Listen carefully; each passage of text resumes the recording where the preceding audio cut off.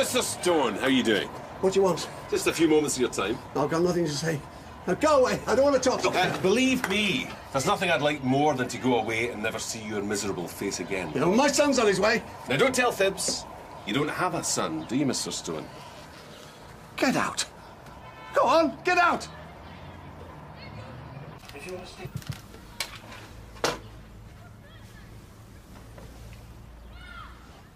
When the boys said you were still here, I said, no, you must be mistaken. This is my home, and I'm not being forced out. Tempted out, enticed. Force is when it gets nasty. And we're not there yet, are we? I lived round here all my life. I've been in this house 40 years. Time for a change then. You don't frighten me. That's because I'm not trying to. You see, I find frightening people very easy. In fact, it's a bit of a bore. So instead, a little gift. I don't want it. Of course you do. Hundreds and hundreds of pounds. You're bribing me. It's compensation. Well, get out of my house. Crisp 20 straight from the bank. You ever had a thousand pounds in your hands before? Don't you talk down to me, you shabby little trickster. What did you call me? You think too small, son, too shallow. You keep making mistakes. Do I? Like what? Like uh, you think I'm scared of you. Well, that's me all over. Too nice for my own good. And that tatty letter, you, you hold it out like a begging bowl, and you, there's desperation in your voice. Careful. Oh, big strong lad, are we? Well, I'm 40 years older than you. I've got one kidney and a, a few things wrong with my lungs. But I'll tell you one thing, son. I'm twice the man that you'll ever be.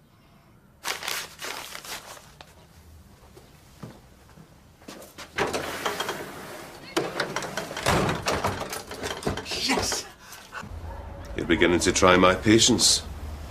I have a right to be here. Why would you want to live in this slum? It's my home. How would you feel if somebody tried to force you out? If someone was offering me somewhere better, I'd jump at it. Ha! Like old Mrs. Jenner next door. Have you seen the bed sit she's in? She's sharing a bathroom with a junkie and three screaming kids. Like, either take my money, I don't want your filthy money. or you stay here with me in your case. Week after week, making your life hell. Is that what you want? Your threats of violence don't scare me. And who mentioned violence? No, you're very clever. But if you did spell it out, Do you know I'd call the police. But we both know what you mean. I'll give you another 500. That's 1,500 pounds. Huh. What'd that buy me? I'm not obliged to do this. And I'm not obliged to go. Why don't you make life easy on yourself?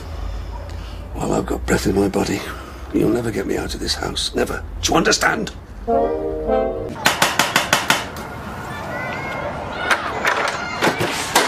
You've got to give me points for persistence. I've nothing to say to you. Good. Then I'll do all the talking. If you set one foot in this house, I'll... what? Go on, impress me.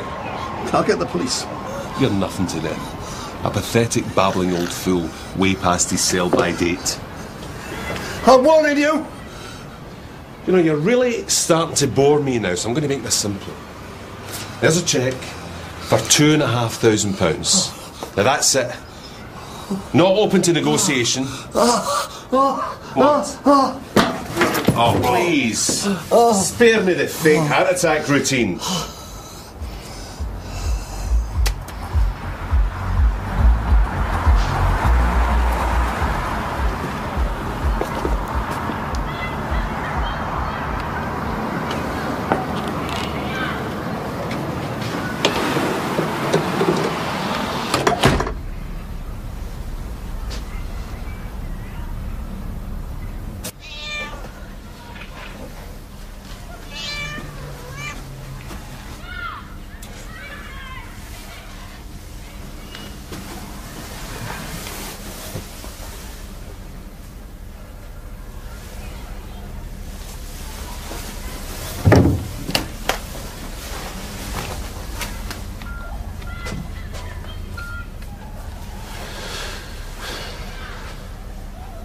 Jason. Not a bad time, is it? Wonderful. That's what I like to hear. Anyway, I call with glad tidings. We are back in business. So get yourself down to Nightingale Terrace as quick as you can. The old man? Everything's resolved. Nothing to worry about. Yeah. God does indeed work in mysterious ways.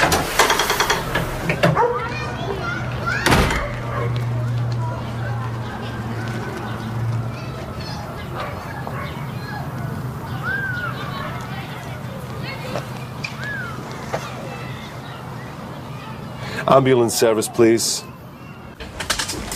Are you a relative? No, his landlord. He's moving into sheltered accommodation. I was just trying to help him out with some paperwork. Gets a bit confused. Is there any family we can contact? I'm afraid not. And what about the house? Uh, don't worry about that. I'll look after it. He's going to be all right, isn't he? You never know, but I won't get your hopes up.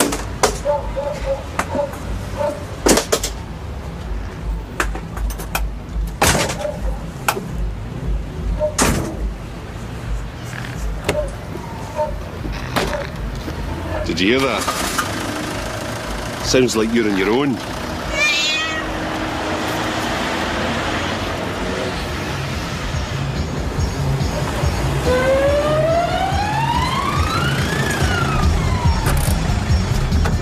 Couldn't have timed that better if I tried. The old man's just left. Any problems? Went like a dream. Right then. So what's the plan? Secure the house for now. Sort it out tomorrow. Not a problem, pal. Nothing ever is with you, Jace. That's what makes us such a good team. Hop to it. That bonus won't earn itself.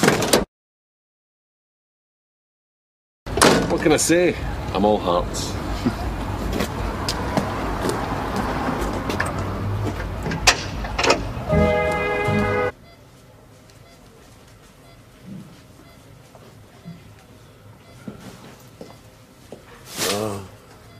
You come to gloat?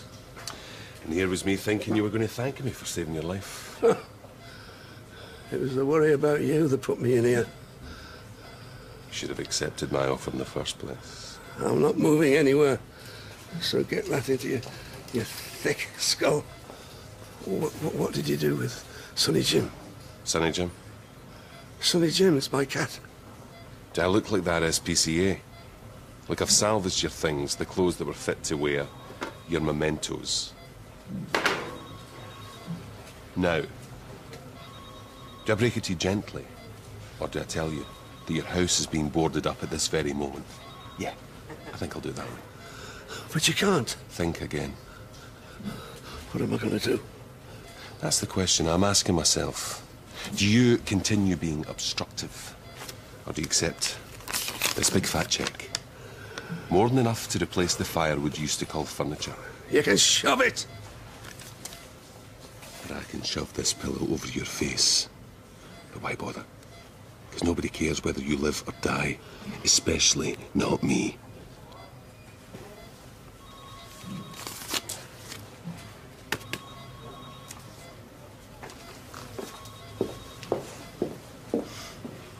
Uh, package for Cole.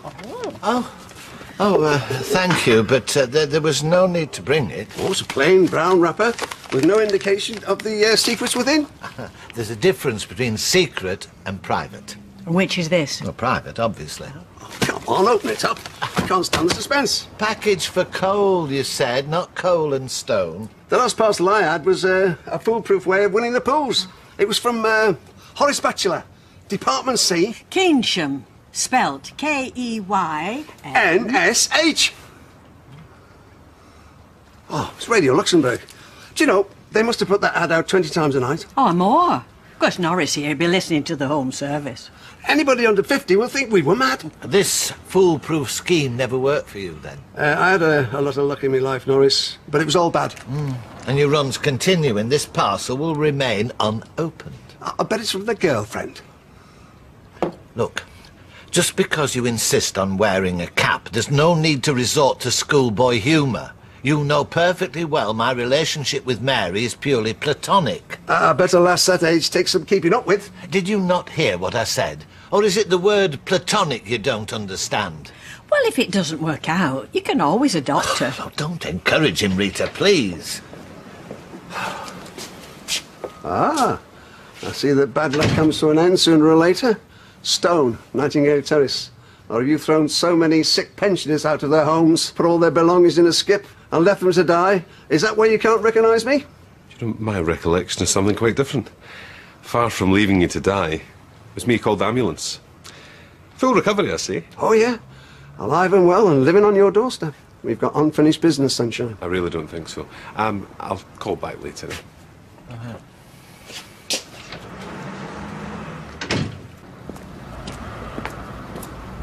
Ah, the blushing groom! I was looking for you. Hi there.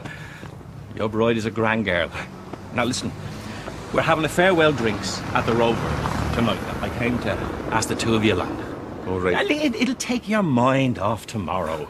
It'll give Helen a chance to make it up with Carla. She regrets some of the things she said after our Liam died, you know. I should watch him if I were you. You stand here any longer, he'll have your wallet. Right, Barry will be there. Thank you. Grand. What do you want? I want my house back, I want my life back, and I want my cat back. How am I doing so far? We had a deal. I gave you a cheque. You cashed it. Look, you robbed me when I was ill. I want more. I want a decent price for everything you took. Take your disgusting hand off me. Don't you ever come near me again, right? You don't scare me, remember? Hey, I'll see you around. And next time, bring your checkbook. Has anyone ever choked to death on champagne?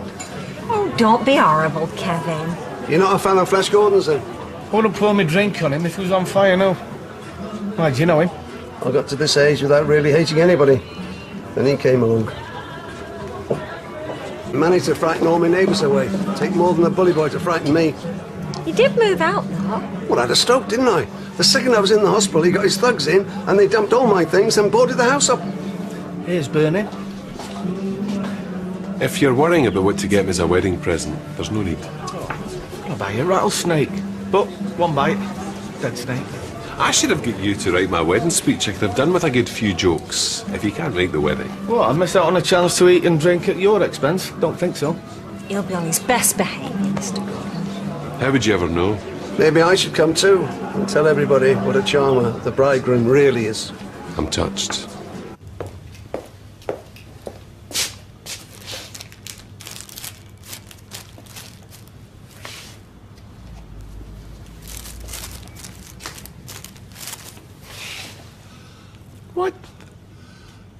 How you got rich?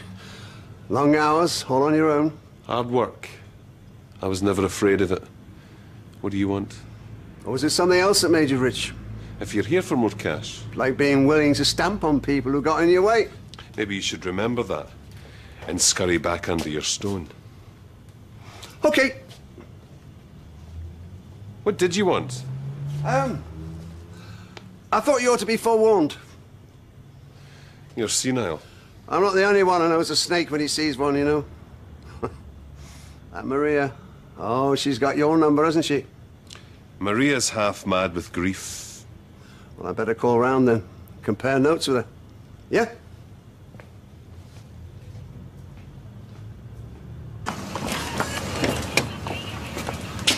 What do you want? Nothing. You're lurking. I'm just keeping my eyes open. It's amazing what you can see if you keep your eyes open. Do you live in a happy world or a sad one? I'd be happy to see you get what's coming to you. Maria's delusions come from grief and pregnancy hormones. What's your excuse? You coming? Yep. You wrap up warm. You don't want to catch a chill. What did he want? Nothing. Where are you taking me for lunch? Wait and see. Go on, Sonny Jim. Sonny Jim. Come on, lover. Come on, din dins. Foodies. Come on, lover. Come on.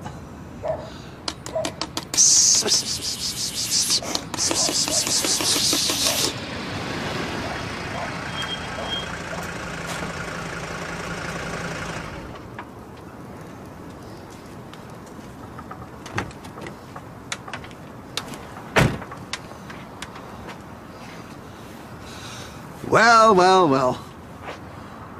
Oh no. I've just been talking to my friend Mrs. Connor. We're going to start a campaign to raise the public awareness. Basically, we want to alert the people to the fact that you're uh, a murdering swine. Don't you dare speak to me like that. Why? What are you going to do?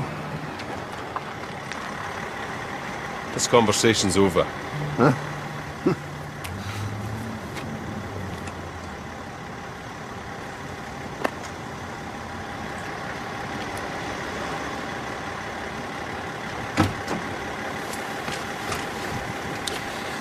Thank you for taking time out your busy schedule.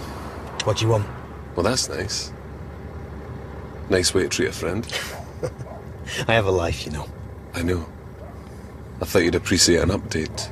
Yeah? A certain widow went to the police. But I think I've convinced them she's losing it. So why are you telling me this? I'm sorry. When I'm in the frame. That's when I need to know. Who's that? Nobody. Looks like that old wino and the cat we kicked out of the house.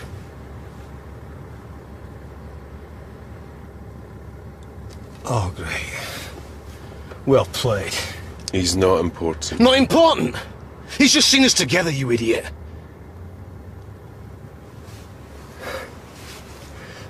Call me again, you hear me?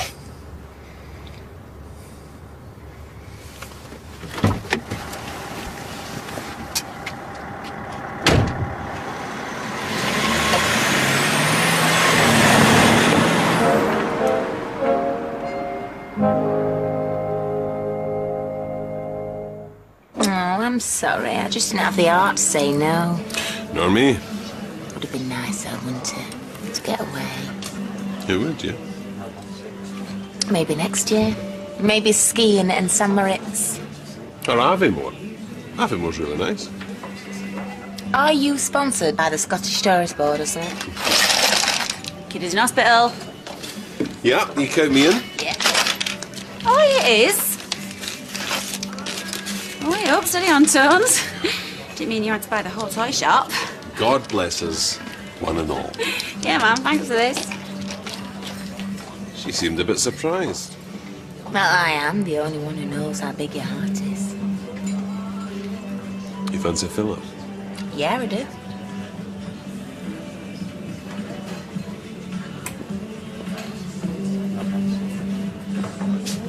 What?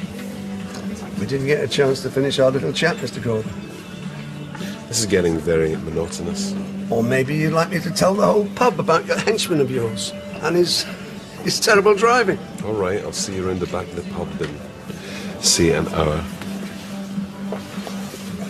Hello, Norris. Can I buy you a drink? Uh-huh. And why would you want to do that? I've just won a very lucrative bet. Oh, in that case, I'll have a port and lemon, much obliged. Uh, obliged. double scotch for me, please, love.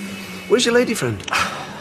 If you mean Mary, who's my friend, and also a lady, she's at home with her infirm mother. Oh, between you and me, Nozza. I mean, do you mind if I call you Nozza? Yes, I do. Uh, I think she sees you as a sugar daddy. If she sees me as anything, she sees me as a Renaissance man. She thinks you were born 500 years ago. For your information, a Renaissance man is someone who excels in many fields. Ah, in your case, running a news agents, entering competitions, and spying on the neighbours all at the same time. Thanks. Thanks, love.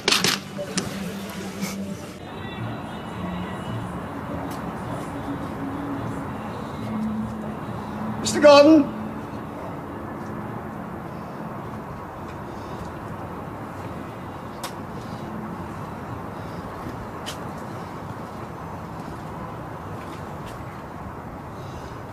Are you there, Mr. Gordon?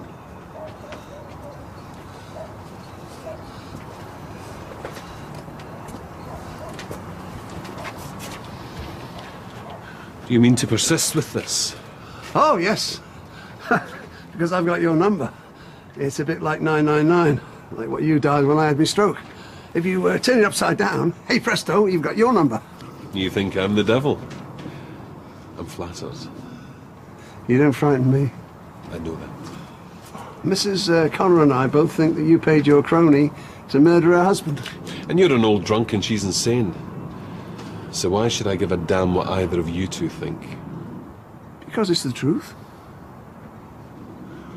Look, I could go to the police, or you and I could come to some sort of civilized agreement. What do you say? I say you're an old boozy loser who nobody respects or particularly likes. No one believed you in the past. Why should they start now? But you know what? It's that time of year when you forgive your enemies and take pity on those less fortunate.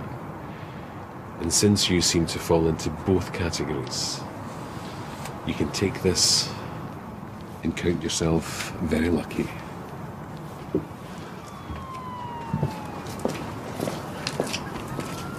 I was right then. Don't push your luck. I'm warning you, Gordon. You're not getting off that easy. It's going to take a lot more of these for me to keep your mouth shut.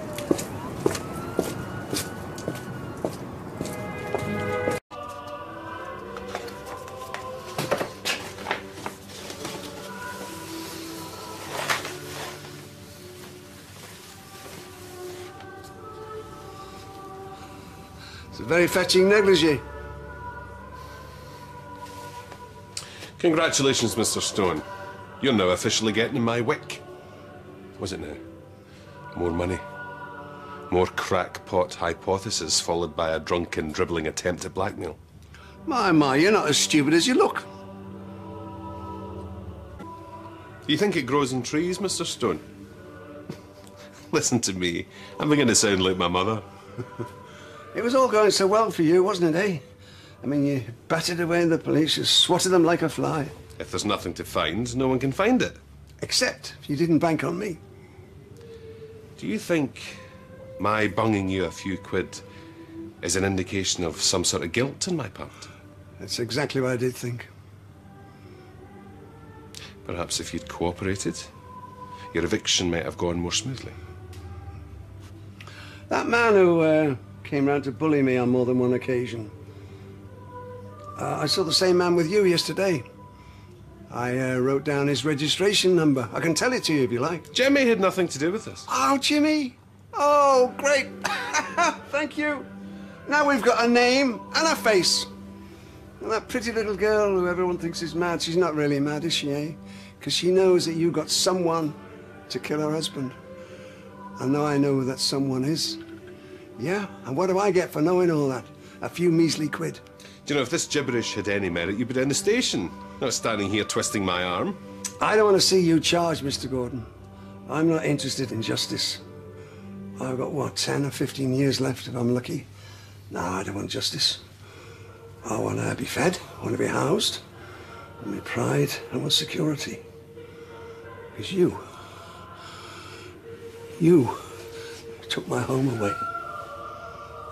I want some real justice. You stole my self-respect! You'll get nothing more from me. So go to the police. They'll see for what you really are. A sentimental, babbling old fool. I mean, Jed. what kind of name is Jed? It's my name. And I will go to the cops. And I'll tell your wife. I'll tell everyone what you are. You're a coward, Tony Gordon. You're a coward. And you're a killer. And you're not gonna get away with it! That's where you're wrong, because I am! Get away with that! Do you really think Come in here and threaten me? Do you think I can be blackmailed? Sucking them lemons, Grandad!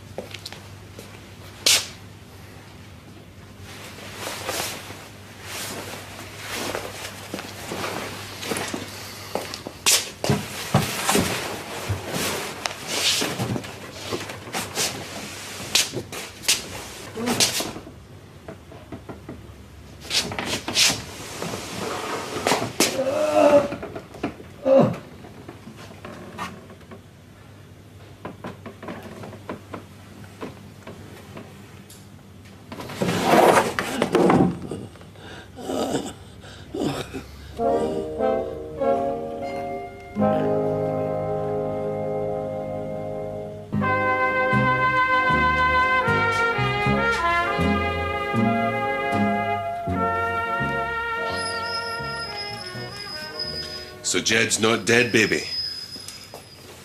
Jed's not dead. Quite a situation, don't you think? If you were in my shoes, what would you do now? Just as I thought. Look after number one at all costs. Because that's why you came here, isn't it? To screw more cash out of me. But fortunately, I'm a better man than you. I didn't mean to kill you. I never did. But you pushed me too far. A rush of blood, and here we are.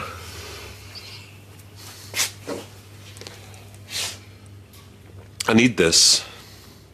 I barely slept. And when I did, all I could see was you turning a nasty shade of puce.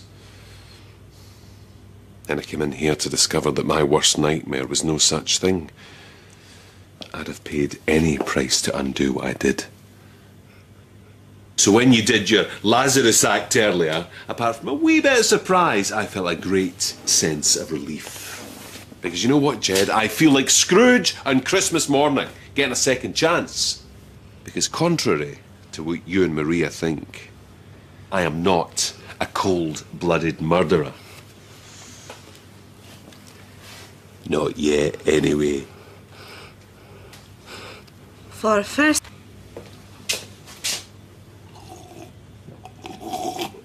Oh, oh, you're going to take this damn stupid thing off my head. Come on, Jed. Where's your sense of Christmas spirit? It's your hat, and I think it looks rather jaunty. Now, as I see it, there are three ways this could go. Shall I? I'm happy for you to do the talking. Well, there's the obvious. I finish you off, and my problems die with you. If you do that, you'll have to look me in the eye and live with it afterwards. If it was the only option, so be it. You still have to get rid of my body. It's not easy. I've got access to construction sites. Deep, deep holes. Loads of concrete. I could give you a list of locations if you've a preferred resting place. Alternatively, alternatively, you could move above ground into a finished flat. I don't understand.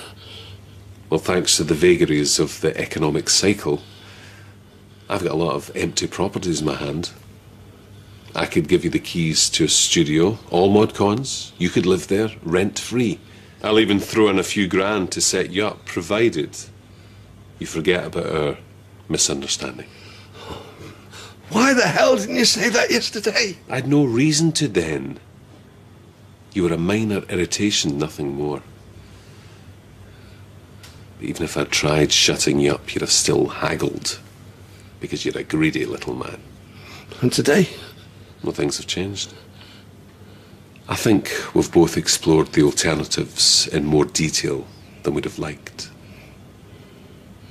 I think it's a very generous offer in your shoes, and cheap at the price in mine. I don't understand. One minute you're strangling me, and the next you're offering me the keys to a new flat. You, you reckon you're Scrooge? I think Jekyll and Hyde near the mark. Much as I like spending the afternoon sharing literary analogies with you, the clock's ticking, Jed. It's Carla I want keeping me awake at night, not you. It's as simple as that. Earlier, you, you, you said there was another option. Yeah, you accept my offer and then you betray me. And I go to jail for attempted murder. No, no, no, I won't.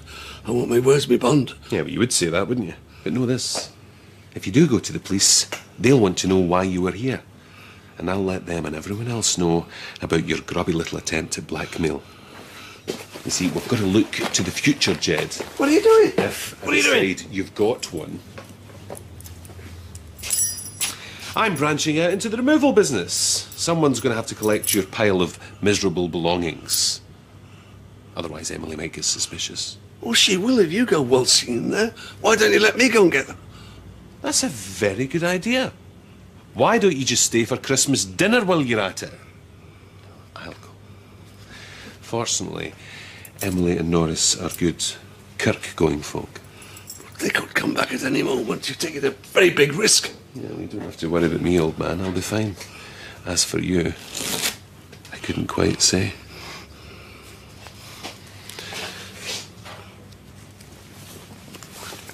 You've got a lot to think about.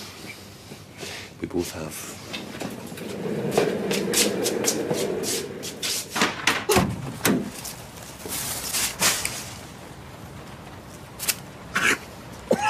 Sorry for the delay.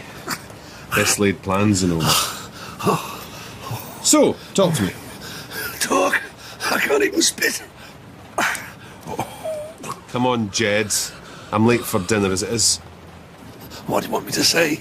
Of course I agree. Who wouldn't? Not good enough. If I can't be certain, I'm not so squeamish I won't finish it. There's nothing I can say that will make you certain. You just have to trust me.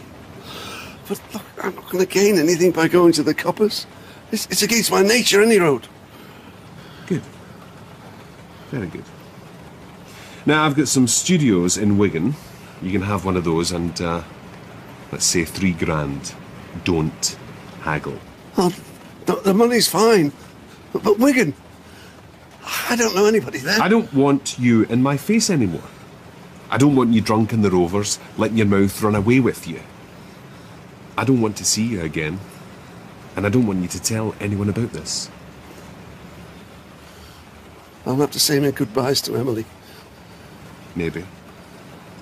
In time, if necessary. But not looking like that. Not sounding like that. So, do we have a deal or not? Oh, how do I know you?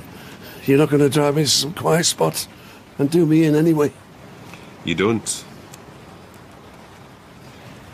You're just going to have to trust me.